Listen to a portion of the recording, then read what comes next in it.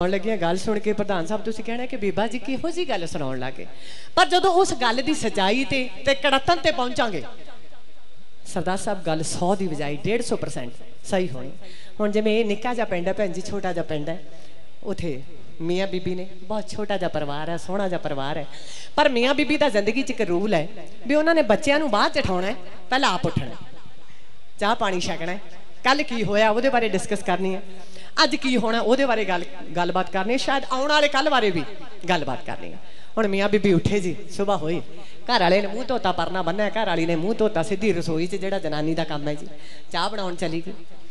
ਤੇ ਹੁਣ ਘਰ ਵਾਲੇ ਨੇ ਜਦੋਂ ਪਰਨਾ ਬੰਨਿਆ ਬੜੀ ਸੁਣਨ ਵਾਲੀ ਗੱਲ ਹੈ। ਜਦੋਂ ਘੜੀ ਤੇ ਨਿਗਾਹ ਗਈ, ਕਹਿੰਦਾ ਯਾਰ ਅੱਜ ਅਖਬਾਰ ਵਾਲਾ ਕਿਵੇਂ ਇੰਨਾ ਲੇਟ ਹੋ ਗਿਆ? ਇਸ ਟਾਈਮ ਨੂੰ ਤਾਂ ਅਖਬਾਰ ਆ ਹੀ ਜਾਂਦਾ ਤੁਹਾਨੂੰ ਪਤਾ ਹੈ ਵੀ ਆਪਣੇ ਪਿੰਡਾਂ 'ਚ ਵੱਡੇ ਵੱਡੇ ਗੇਟ ਹੁੰਦੇ ਆ ਤੇ ਉੱਤੇ 16 ਵਰਗੇ ਕਿੱਲ ਲੱਗੇ ਹੁੰਦੇ ਆ। ਤੇ ਸਾਈਕਲ ਤੇ ਜਦੋਂ ਅਖਬਾਰ ਵਾਲਾ ਆਉਂਦਾ ਹੈ ਤੇ ਅਖਬਾਰ ਦੇਣ ਦਾ ਤਰੀਕਾ ਕਿਹੜਾ ਹੁੰਦਾ ਹੈ? ਹਲੇ ਗੁੱਟ ਵੱਲ ਦੇਖ ਕੇ ਓਏ ਬੰਦਾ ਜੱਟ ਕੁਰਸੀ ਤੇ ਹੀ ਬੈਠਣ ਲੱਗਿਆ ਸੀ।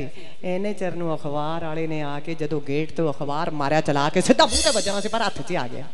ਹੁਣ ਤੈ ਨਾ ਖੋਲੀ, ਮੇਨ ਪੇਜ ਤੇ ਨਿਗਾਹ ਚਲੀ ਗਈ। ਮੇਨ ਪੇਜ ਤੇ ਨਿਗਾਹ ਜਾ ਕੇ ਬੰਦਾ ਇੰਨਾ ਖੁਸ਼ ਹੋਇਆ, ਤਾਂ ਵੱਲ ਨੂੰ ਮੂੰਹ ਕਰਕੇ ਕਹਿੰਦਾ, ਵਾਹ ਓਏ ਮਾਲਕਾ। ਨਹੀਂ ਤਾਂ ਸਾਰੀ ਉਮਰ ਕੁਝ ਨਹੀਂ ਦਿੰਦਾ, ਪਰ ਜਦੋਂ ਦਿੰਦਾ ਤਾਂ ਛੱਪੜ ਪਾੜ ਕੇ ਦੇਣਾ ਹੈ। ਐਨੀ ਗੱਲ ਕਹਿ ਕੇ ਬੰਦਾ ਤਾਂ ਜਿਉਂ ਲੱਗਿਆ ਜੱਟ ਤਾਂ ਨੱਚਣ। ਦੇ ਤਰੇ ਦੀ, ਲੈ ਤਰੇ ਦੀ ਦੇ ਤਰੇ ਦੀ, ਲੈ ਤਰੇ ਦੀ ਦੇ ਤਰੇ ਦੀ, ਦਗੜ ਦਗੜ ਪਈ ਹੋਵੇ ਜਦੋਂ ਘਰ ਵਾਲੀ ਦੇ ਕੰਨਾਂ 'ਚ ਆਵਾਜ਼ ਗਈ। ਕਹਿੰਦੀ ਆ, ਸਾਡੇ ਵਿਹੜੇ 'ਚ ਦਗੜ ਦਗੜ ਕਿਹੜੀ ਹੋਈ ਜਾਂਦੀ ਹੈ? ਕਿਤੇ ਡੰਗਰ ਤਾਂ ਨਹੀਂ ਖੁੱਲ ਗਿਆ? ਉਹਨੇ ਫਟਾਫਟ ਗੈਸ ਬੰਦ ਕੀਤੀ ਔਰ ਰਸੋਈ 'ਚੋਂ ਬਾਹਰ ਜਾ ਕੇ ਕਹਿੰਦੀ, ਇਹ ਤਾਂ ਮੇਰੇ ਵਾਲਾ ਨੱਚੀ ਜਾਂਦਾ ਕਹਿੰਦੀ, ਗੱਲ ਕੀ ਹੋਈ? ਖਾਲੀ ਢਿੱਡੀ ਨੱਚੀ ਜਾਂਦਾ, ਚਾਹ ਚੂ ਵੀ ਨਹੀਂ ਪੀਤੀ। ਹੁਣ ਜਾ ਕੇ ਗੈਸ ਬੰਦ ਕਰਕੇ ਜਾ ਕੇ ਨੱਚਦੇ ਦੀ ਬਾਹ ਫੜ ਲਈ। ਕਹਿੰਦੀ, ਕਿਵੇਂ? ਅੱਜ ਖਾਲੀ ਢਿੱਡੀ ਨੱਚੀ ਜਾਂਦੇ ਹੋ। ਕਹਿੰਦਾ ਗੱਲ ਹੀ ਨੱਚਣ ਵਾਲੀ ਹੈ। ਕਹਿੰਦੀ ਫਿਰ ਮੈਨੂੰ ਨਹੀਂ ਦੱਸਣੀ। ਕਹਿੰਦਾ ਸੁਣ ਲੈ, ਸਰਕਾਰ ਨੇ ਇੱਕ ਸਕੀਮ ਕੱਢੀ ਹੈ। ਕਹਿੰਦੀ ਕਿਹੜੀ ਸਕੀਮ? ਕਹਿੰਦਾ ਨੈਨੋ ਕਾਰ ਦੀ। ਕਹਿੰਦੀ ਲੈ ਦੱਸ। ਸਕੀਮ ਸਰਕਾਰ ਨੇ ਕੱਢੀ ਹੈ, ਨੱਚੀ ਤੂੰ ਜਾਣੇ ਆਪਣਾ ਕੀ ਵਾਸਤਾ? ਕਹਿੰਦਾ ਕਮੜ ਬਹੁਤ ਗਹਿਰਾ ਵਾਸਤਾ ਜਿਹੜੀ ਸਰਕਾਰ ਨੇ ਸਕੀਮ ਕੱਢੀ ਹੈ ਕੱਢੀ ਹੈ ਨੈਨੋ ਕਾਰ ਦੀ। ਤੇ ਨੈਨੋ ਕਾਰ ਉਹਨਾਂ ਨੂੰ ਮਿਲਣੀ ਹੈ ਜਿਨ੍ਹਾਂ ਦੇ ਪੰਜ ਜਵਾਕ ਨੇ। ਹੁਣ ਘਰ ਵਾਲੀ ਕੌੜਾ ਕਸੈੜਾ ਜਾਂ ਮੂੰਹ ਕਰਕੇ ਜਦੋਂ ਰਸੋਈ ਵੱਲ ਜਾਣ ਲੱਗੀ, ਵਾਪਸ ਆ ਗਈ। ਪਤਾ ਨਹੀਂ ਕੀ ਦਿਮਾਗ 'ਚ ਆਇਆ। ਆ ਕੇ ਨੱਚਦੇ ਦੀ ਬਾਹ ਫੇਰ ਫੜ ਲਈ। ਕਹਿੰਦੀ, ਕਮਲੀ, ਮੈਂ ਨਹੀਂ ਕਮਲਾ, ਤੂੰ ਹੋ ਗਿਆ। ਕਹਿੰਦਾ, ਕਿਉਂ? ਕਹਿੰਦੀ, ਆਪਣੇ ਪੰਜ ਨਹੀਂ ਤੰਨੀ ਨੇ। ਕਹਿੰਦਾ, ਰਹੀ ਕਮਲੀ ਦੀ ਕਮਲੀ, ਰਹੀ ਲੱਲੀ ਦੀ ਲੱਲੀ, ਰਹੀ ਝੱਲੀ ਦੀ ਝੱਲੀ। ਕਹਿੰਦਾ, ਕਮਲੀਏ ਜਿਹੜਾ ਮੋਟਰ ਤੇ ਪਰਿਵਾਰ ਹੈ, ਉਹਨਾਂ 'ਚ ਦੋ ਆਪਣੇ ਹੀ ਨੇ। ਹੋ ਗਏ ਨਾ ਪੰਜ? ਹੁਣ ਘਰ ਵਾਲੀ ਕੁਝ ਨਾ ਬੋਲ। ਕੋੜਾ ਕਸੜਾ ਜਾਂ ਮੂੰਹ ਕਰਕੇ ਰਸੋਈ 'ਚ ਜਾ ਬੜੀ ਜਾ ਕੇ ਜਾ ਬਣਾਉਣ ਲੱਗੀ। ਕਹਿੰਦੇ ਜਦੋਂ ਬੰਦੇ ਨੂੰ ਫਰੀ ਦੀ ਚੀਜ਼ ਮਿਲਣੀ ਹੋਵੇ, ਬੰਦਾ ਕਿਤੇ ਟਿਕਦਾ? ਦਵਾ ਦਬ ਨਾ ਤਤੂ ਤਾਂ ਕੁੜਤਾ ਪਜਾਮਾ ਪਾਇਆ, ਪਰਨਾ ਬਣਿਆ ਤੱਤੀ ਤੱਤੀ ਚਾਹ ਅੰਦਰ ਸਿੱਟੀ। ਤੇ 4 ਘੰਟਿਆਂ ਬਾਅਦ ਪਿੰਡ 'ਚ ਗੇੜੀ ਦੇ ਕੇ ਵਾਪਸ ਆ ਗਿਆ। ਕਹਿੰਦਾ, ਭਾਗਵਾਨੇ ਆ ਜਾ!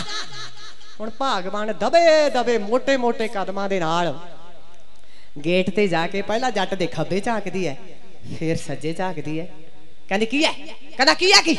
ਮੋਟਰ ਵਾਲੇ ਦੋ ਆ ਗਏ, ਘਰ ਵਾਲੇ ਤਿੰਨ ਕੱਢ। ਕਹਿੰਦੀ, ਕੰਨ ਉਰਾਂ ਕਰ। ਜਦੋਂ ਨੇੜੇ ਕੰਨ ਕੀਤਾ, ਕਹਿੰਦੀ, ਜਿਹਦੇ ਸੀਗੇ ਉਹ ਲੈ ਗਿਆ।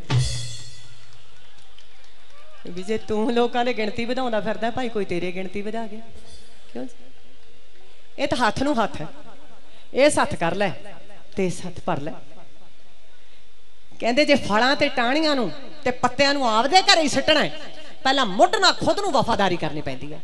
ਫਿਰ ਉਹਨਾਂ ਟਾਹਣੀਆਂ ਤੇ, ਉਹਨਾਂ ਪੱਤਿਆਂ ਤੇ, ਉਹਨਾਂ ਫਲਾਂ ਤੇ ਤੁਹਾਡਾ ਹੱਕ ਹੋ ਜੇ ਆਪਾਂ ਹੀ ਮੁੱਢ ਨਾਲ ਗਦਾਰੀ ਕੀਤੀ ਨਾ, ਫਿਰ ਟਾਹਣੀਆਂ ਕਿਤੇ ਹੋਰ ਜਾ ਕੇ ਡਿੱਗਣਗੀਆਂ ਫਲ ਕਿਸੇ ਹੋਰ ਪਿੰਡ ਜਾ ਕੇ ਡਿੱਗਣਗੇ ਤੇ ਪੱਤੇ ਪਤਾ ਨਹੀਂ ਕਿਹੜੇ ਗਵਾਂਢੀਆਂ ਦੇ ਜਾ ਕੇ ਡਿੱਗਣਗੇ। ਹਰ ਚੋਰ ਨੂੰ ਸੋਚ ਲੈਣਾ ਚਾਹੀਦਾ, ਭਾਵੇਂ ਉਹ ਪੈਸੇ ਦਾ ਚੋਰ ਹੈ, ਭਾਵੇਂ ਉਹ ਇੱਜ਼ਤ ਦਾ ਚੋਰ ਹੈ।